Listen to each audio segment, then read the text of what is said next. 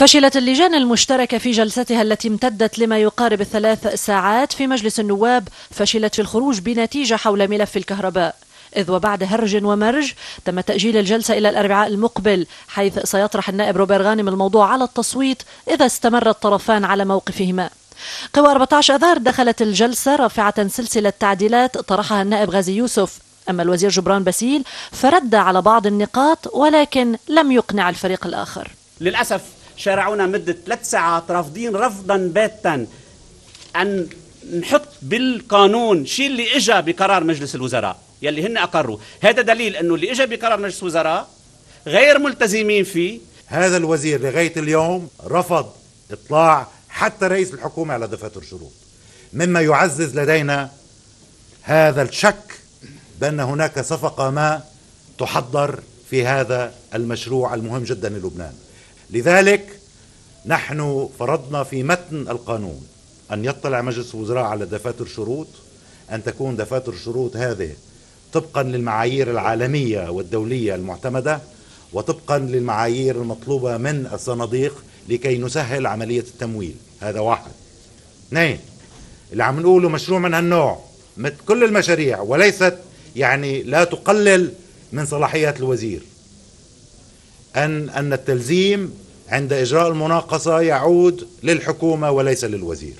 لن نسمح على الإطلاق بتمرير أي اقتراحات تقدم بها بعض زملائنا في الفريق الآخر.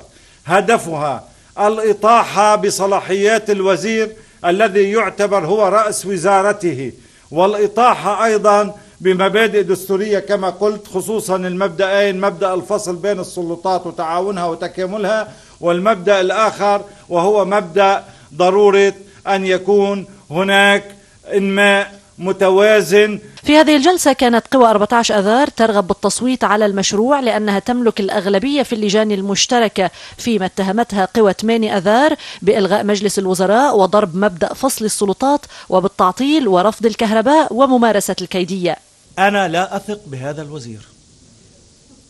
مش لأنه بينتمي لثمانية ولا لأنه اسمه جبران باسيل.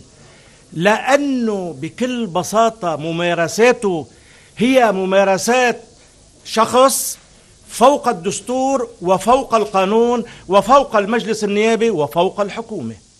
ممارساته هيك. مش سائل لا عن دستور ولا عن قانون ولا عن الديوان محاسبة. أي ديوان محاسبة؟ مش سائل عن مجلس نواب بده يسأل عن ديوان محاسبة؟ الرقابة مش عملية كيدية. إنه في عنا بمسألة الرقابة مراقب عقد نفقات في عنا ديوان محاسبة.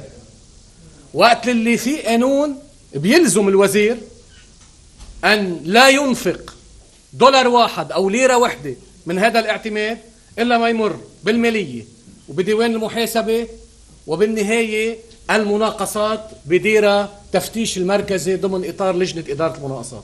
بتقولوا لي ما في ثقة بدكم تطرحوا ثقة بالوزير. وعلى الرغم من كل ما حصل بدا نواب الأكثرية واثقون من أنه وإذا ما سقط المشروع في اللجان المشتركة فإن لدى الرئيس بري أكثر من وسيلة لإرسال المشروع إلى الهيئة العامة حيث يكسبون في التصويت.